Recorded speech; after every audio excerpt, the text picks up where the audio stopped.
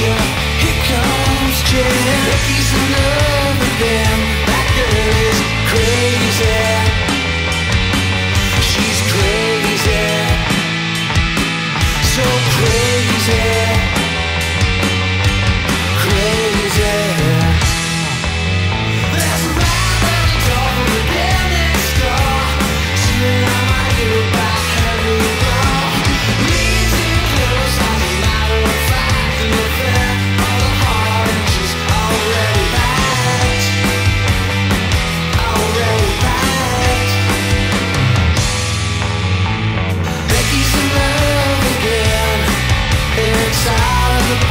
Picture.